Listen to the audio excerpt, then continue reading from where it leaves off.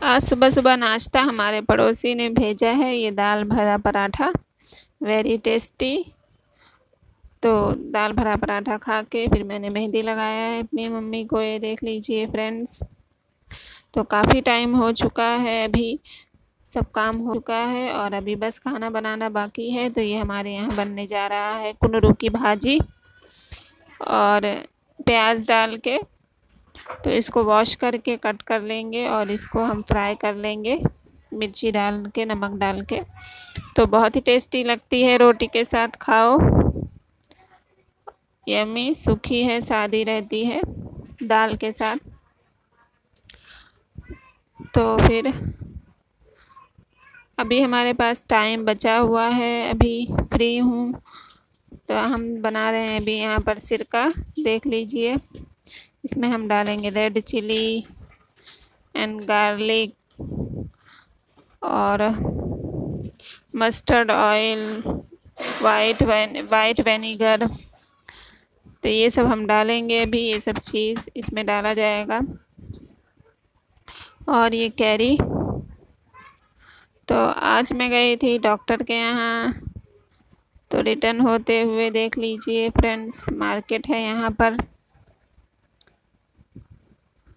काफ़ी अच्छा है, बारिश का सीज़न है तो अभी थोड़ा छाँव है रास्ते में। तो आने के बाद ये मैंने बनाया इलेक्ट्रॉल पाउडर मटके के पानी में और इसको बनाकर हम पियेंगे। ये हमारा बन चुका है इलेक्ट्रॉल पाउडर और इसमें हम डाल देंगे ठंडा पानी और इसको पियेंगे। हेल्थ के लिए काफ़ी अच्छा रहता है। शाम हो चुकी है तो अभी मार्केट का टाइम है, सब्ज़ी मार्केट। तो आ चुकी हूँ मैं vegetable market near my home. देख लीजिए, सब्ज़ी काफ़ी लगी हुई हर जगह। आलू, प्याज, मटर, गोभी फ्लावर बैंगन और बहुत सारी भाजी। तो यहाँ से अभी मैं भाजी ख़रीद रही हूँ। काफ़ी भीड़ है, सब यहाँ पर सब्ज़ियाँ ख़रीद रहे हैं।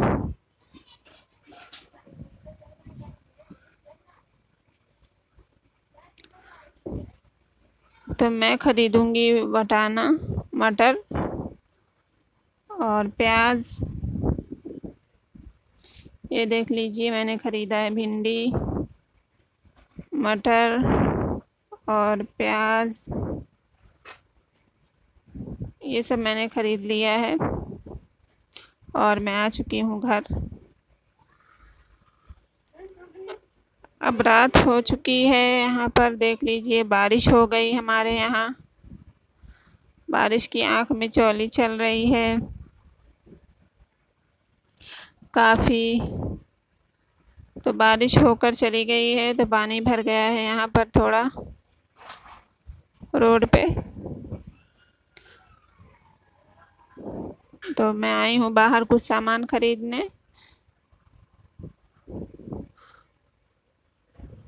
ये देख लीजिए,